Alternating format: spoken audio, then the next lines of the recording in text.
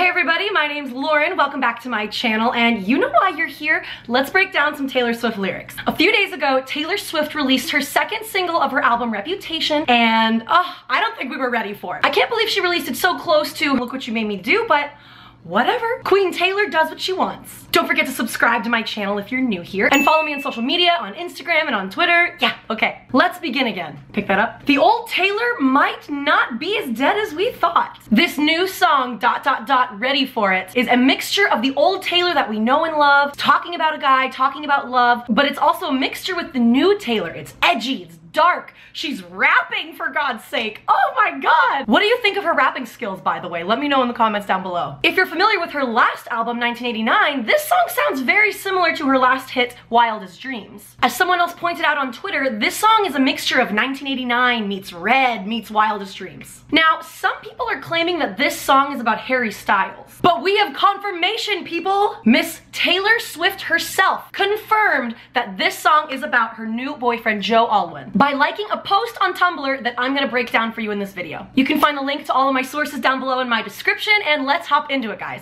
First of all, let's talk about the song name. Dot dot dot ready for it? Who is she talking to? Is she talking to us? Is she asking us, are we ready for her new album? Because we are. Or is she talking to her new boyfriend, Joe? Is she saying, Joe, are you ready for the media frenzy that's about to happen with this album and with them becoming a public couple? I think we're all ready for that. Let's start with the lyrics. She says, knew he was a killer first time that I saw him. We think that this line is referencing Joe Alwyn's recent role as Private Billy Lynn, where he literally plays a killer. First time that she saw him. She was also reportedly seen at a private screening of the movie movie. I think that's a pretty convincing one. If you're a big Swiftie fan, you know that Taylor Swift likes her Tumblr. She likes to lurk on other people's Tumblr, liking posts, and trust me, the whole Swiftie army has been making sure to be on the lookout for cryptic likes from Taylor Swift on Tumblr. Next line. Some boys are trying too hard. He don't try at all though. Younger than my exes, but he acts like a man so. Now this is an obvious line. She's talking about currently dating someone and referencing her ex-boyfriends. Although Joe Alwyn isn't the youngest of her exes, Conor Kennedy, Harry Styles, Taylor Lautner, he's still younger than her last two exes. Calvin Harris was 33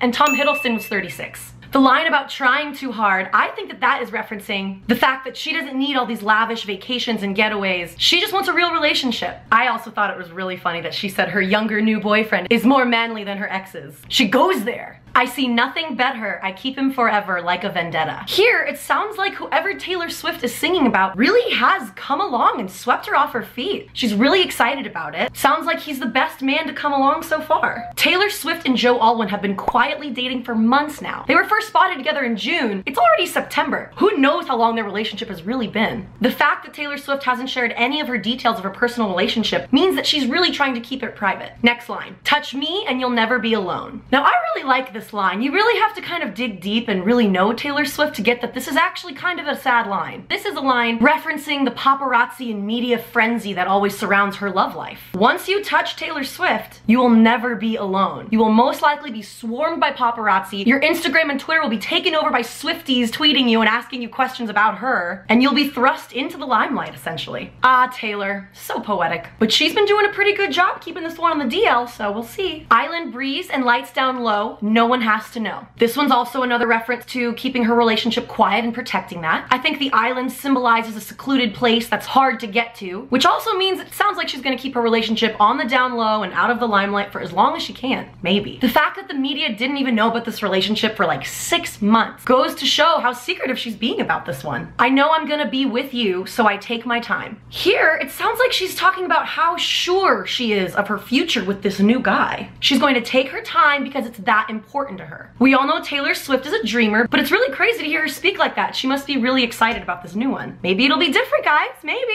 Me, I was a robber. First time that he saw me, stealing hearts and running off and never saying sorry. Here, she switches the narrative to talk about his first perception of when he saw her. Obviously, there's a lot of media and press surrounding Miss Taylor Swift, and people see her as a stealer of hearts, so that's most likely what she's referencing to here. But if I'm a thief then, he can join the heist. I liked that line, because it also sounds like Taylor's just owning up to the fact, yep, media thinks I'm a stealer of hearts. You wanna jump on board or what?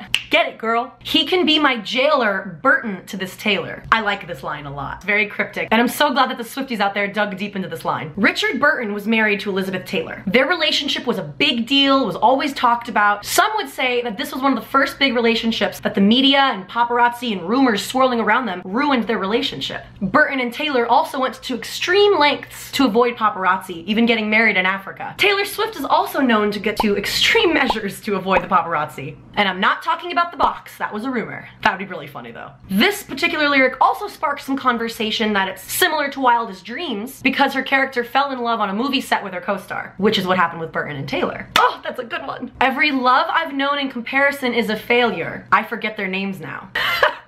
this line cracked me up. Serious shade. She's saying that regardless of how glamorous and jet setting and talked about her last relationships were, they don't compare to what she has now. So much so that she's forgotten their names.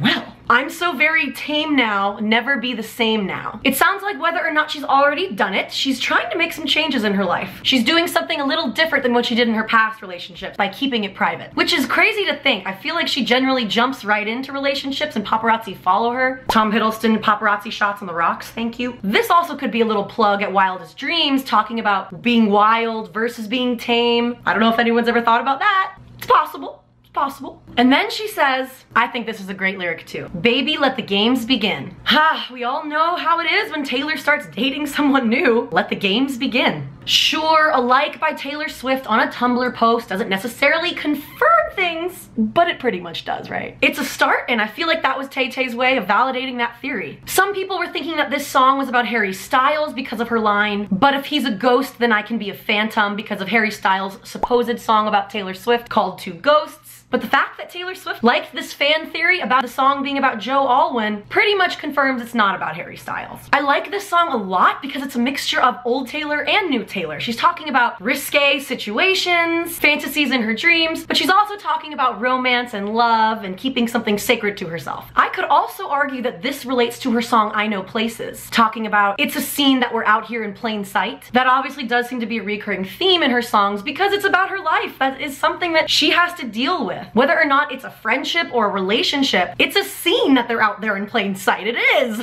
Talking about going to an island in the middle of the night, turning the lights down low so nobody has to know. It's a very common theme in Taylor Swift songs because in her relationships, it's more than just two people. We get in there too. The vultures are swarming. I really like the beginning. It's this rap beats that we've never heard from Taylor. I've never heard her rap and she does a great job of it. It sounds edgy and dark and I love it. And then we go into the chorus which sounds more whimsical and dreamy much like Wildest Dreams and talking about romance in the middle of the night. I think it's just a great mixture overall. What do you guys think? Tell me down below if you guys think any of these theories are right. If you have any other theories. I really loved reading your comments on my Look What You Made Me Do music video Decoded. I hope you all enjoyed that. I like that the song ends with repetitive lyrics saying baby let the games begin and then one more more time it says, are you ready for it? Oh, so metaphorical, I love it. Is she talking to us? Is she talking to Joe? Is he ready for the media frenzy storm that's gonna surround them once they step out in public for the first time? Are we ready for the new Taylor? Is she really dead? I just don't know, guys. Thank you so much for watching. Don't forget to leave a like if you enjoyed it and let me know what you guys think. I love reading your comments. Thank you so much for watching. I'll see you guys next time. Bye.